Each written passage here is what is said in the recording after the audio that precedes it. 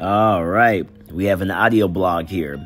From flintlocks to future weapons, evolutions of firearms throughout history by Aaron Weber. He posted this February 8th, 2024 at 8:58 a.m. The technology of killing other humans faster, more easily, and in greater numbers is always advancing. But one thing remains is the same the method of killing usually relies on shooting small projectiles from metal tubes at high speeds. Firearms form the backbone and core of modern fighting forces.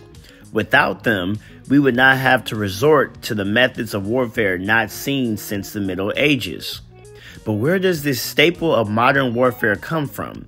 Who is credited with creating the gun? Why has it become so popular? This is the short and digestible evolution of firearms. Background on firearms. What makes a gun a gun? Is it the trigger, the sights, or even just the look and style? Essentially, every type of gun is any type of device that allows for the propelling of a projectile at high speeds using pressure or some kind of small explosion. No matter how advanced the technology inside a gun, it is still relying on the basic, ancient, and primitive principle of big explosion makes small thing go fast. No matter how civilized we think we've become, when we devolve into killing each other, we have yet to come up with a faster, cheaper, and more effective way than putting a small piece of metal into each other. For this list, we will use the data on firearm invention and innovation available from public resources starting in ancient China and looking into the future with the latest experiments that promise to change the way we think about guns. We will also focus on just personal weapons, ignoring the evolution of big guns like artillery and cannons. Origins in China, the Fire Lance. The Asia continent used to be the center of military innovation and technological advancement. Up until the early modern era, Asian steppe nations, Chinese empires, and Middle Eastern states were fighting in the varsity league of warfare, while the rest of the world was still duking it out in junior varsity and amateur teams. The beginning of what would eventually become modern firearms appeared in China around the 9th century CE with the fire lance. This was a long spear like weapon that was used similarly to how we use flamethrowers today. The user would sometimes put debris or sharpie in the tube, making it function more like a gun. But it only had a range of about 10 feet, and the earliest versions could only be fired once. Therefore, they were mostly useful as a weapon of intimidation, but they worked fantastically and convinced the other Asian nations to begin work on their own versions. The first artistic depiction of this proto gun is a 10th century silk banner. The fire lance was originally made of bamboo and paper but evolved into metal versions to better withstand the increasing power of the explosions they were creating. Other armies adopted them after seeing their effectiveness on the battlefield. They were particularly useful as defensive weapon during sieges and against large masses of soldiers. The first real gun, the hand cannon.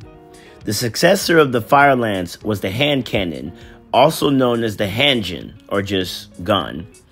This is the first true gun in history. It was much shorter than the fire lance, made of metal and could be held while ignited. It had no firing mechanism and required ignition by touching an open flame to the touch hole. The hand cannon became widespread in China during the 13th century and quickly spread it throughout the rest of the world. The oldest example of these proto guns is the Heilongjiang hand cannon from around 1288 in the Aqining district, China. It was discovered in the 1970s and is just over 34 centimeters long.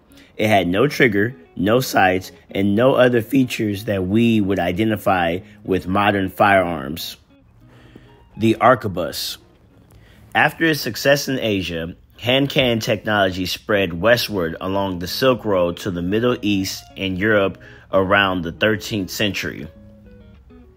Armies in the Middle East saw the use of hand cannon and incorporated it almost immediately into their arsenal, mostly as a defensive and intimidation weapon. It was during this time the greatest scientific minds of the age, located in the Ottoman Empire, turned the hand cannon into a weapon of empires. Eventually, it evolved into the arquebus in the Ottoman Empire during the 15th century. The arquebus is a long gun with a shoulder stock, priming pan, matchlock mechanism, and a trigger, turning it from a stationary siege and defensive weapon into a mobile handheld firearm. The heavy version of the arquebus was invented in Europe to better penetrate plate armor and was called a musket. The distinction remained for centuries, but over time, any form of smooth bore long gun was eventually called a musket, and the name replaced the arquebus. The arquebus was incorporated into most armies in Europe and quickly spread east. Because of the limitations of the weapon, it was often paired with other infantry or weapons to make up for its shortcomings. The first country to make widespread use of the arquebus was the Ottoman Empire, and they did so with famous success. The deadly Janissary Corps, who were the first modern standing army, and the Sultan's household troops were the first infantry force to be equipped with the arquebuses as part of their standard equipment.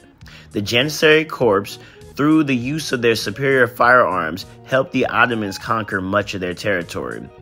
The first battle that was won due to the use of firearms was the Battle of Cerignola on April 28, 1503, between the French and the Spanish. In this battle, 1,000 Spanish arquebusiers fighting from behind a defensive ditch completely decimated the attacking French pikemen and cavalry, leading to a resounding Spanish victory and solidifying the role of guns on the battlefield. The musket. The arquebus or the musket continued to evolve with more effective trigger and firing mechanisms. Paper cartridges were introduced to make reloading faster. France introduced the bayonet in the 16th century. The musket we recognize today, which started out as a heavy variant of the arquebus, appeared in the early 16th century CE. Like its predecessor, it was a smoothbore, muzzle loading long gun. The reason why it became so popular is because it was able to pierce through the plate armor, rendering the iconic armor of the Middle Ages entirely useless and eventually a liability. After the introduction of the musket to the battlefield, there was no armor that could protect you against the musket ball, so your best chance of survival became superior numbers and agility. So if you're ever wondering why armies got rid of the expensive plate armor, now you know. It was the musket ball. that was me just adding a little drama. there was also a variety of different guns that were introduced during this time, including flintlocks, wheel locks, dog locks, snap locks, match locks, percussion caps, blundering busses, and many other technologies to make the gun easier to use, faster to reload, and safer to fire. While all these change the way the musket functions and handles, the basic use of the musket remain the same. Enter the rifle. Rifling technology had existed in Europe ever since the late 1400s, but problems with it prevented armies from adopting it, preferring the simpler and easier musket. Rifled muskets were the same as regular muskets, but their barrels had grooves cut into the inside of the barrel, causing the bullets to spin as they were fired, which increased range and accuracy. The principle came from the archers who realized that adding a spin to their arrows by adjusting the feathers of their arrows made them much more accurate. It wasn't until the 17th and 18th centuries that rifles advanced enough to surpass the use of muskets on the battlefield. The musket continued to be used by regular troops, but rifles were used by marksmen and specialist infantry forces because they were more expensive to make. This led to armies abandoning the use of massed attacking infantry formations in the later 1800s, since the rifle was far more accurate, had a longer range, and could still be reloaded as quickly as the musket. This meant that troops attacking in formation were in range of accurate shots for much longer than before. And while battles previously lasted for only a handful of musket volleys, a defending army with rifles could fire dozens of shots before the attackers were even in range to return fire. Evolution of the rifle. With the problem of accuracy solved, the next evolution came in the form of addressing the issue of slow and difficult reloads for muzzle loading guns. The first solution was the breech loading rifle. Breech loading rifles allow a person to load the next round from the reed or the breech of the gun. This had several advantages. It significantly improved the reload time, allowing the gun to be fired many times faster. It kept the barrel cleaner before firing, and it also allowed a soldier to reload while laying down. This last point is one of the most significant changes to gunpowder warfare we often don't think about. The ability to lay down, fire, reload, and fire again without standing up allowed soldiers to remain relatively concealed and protected without standing up to reload. It was a development that, again, helped the defending side much more than the attacking side. In the 1850s, the next great advancement of breech loading rifles came in the form of the Springfield rifle, invented in Springfield, Massachusetts. The Springfield used ammunition cases so the soldier no longer had to pour loose gunpowder into their guns themselves, making firing safer and quicker. These quickly replaced the rifled muskets and became a standard weapon used during the American Civil War. Modern warfare, the repeater. As warfare adapted to fighting from entrenched positions instead of massed infantry, armies needed to be able to fire more bullets if they were to have any success in hitting the enemy. This led to the invention of the revolving rifle, which was a rifle with a revolving mechanism adapted from revolving pistols. Subsequently, the repeating rifle was invented in 1866 in the form of the Winchester repeating rifle and allowed the user to pull the lever to reload the rifle instead of inserting a new round each time. The repeating rifle allowed soldiers to fire a handful of shots before needing to insert the next batch of gun rounds into the gun. Development of the modern firearm.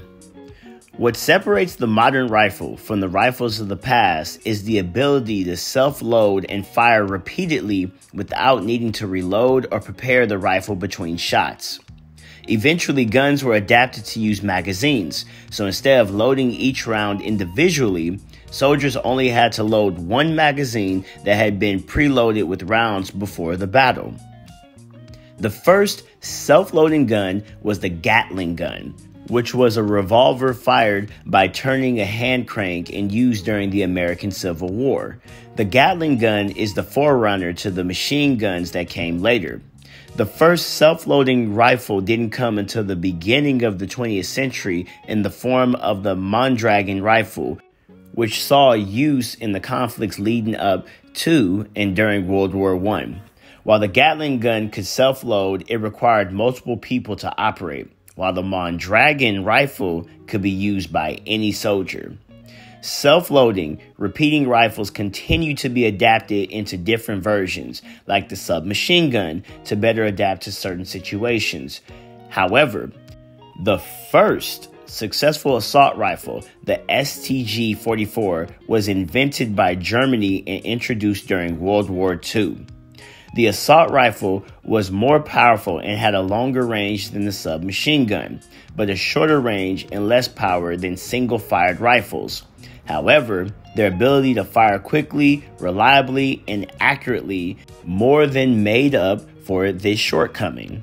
And the assault rifle was adopted as the standard weapon of all modern armies.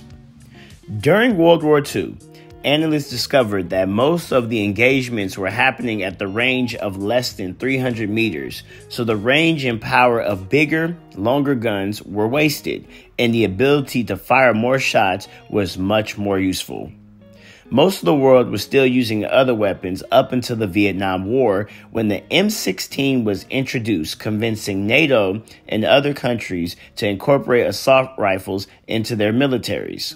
The most successful and most manufactured assault rifle is the AK 47 due to its ruggedness, reliability, and ease of use. Derivatives and variations of these rifles continue to be used today and form the backbone of any modern force. Future weapons. What does the future of the firearm hold? Nobody knows, but there are signs of where the technology may develop. First, 3D printing technology is changing the form, availability, and regulation of guns. The ability to print your own untraceable gun at home with as little as $500 in parts is a growing concern for governments and regular citizens. Second, the need for gunpowder in guns creates a number of issues. It needs to be sourced and processed before it can be used in a round, and those rounds needs to be transported safely to the battlefield. Even modern rounds can still cause problems and accidents with the dangerous technology injuring many people every year. That's why scientists have begun experimenting with other ways of making small bullets go fast. One solution is with the railgun, which uses electromagnetic force to launch a projectile at very high speeds. It has no moving parts, and large versions have already been tested with success. Other experimental handheld firearms include interesting options developed by the Nazis during World War II, like the sound gun and energy gun, to more realistic options like handheld laser weapons. Time will only tell what will eventually replace gunpowder, but whatever it is, it's going to be a game changer. All right. And that right there is the end of the article. Hope you guys enjoyed. Comment below if you want to see more stuff like this. Go on my YouTube channel, Smitty Wit, martial artist. Go to the playlist, and I should have more videos like this.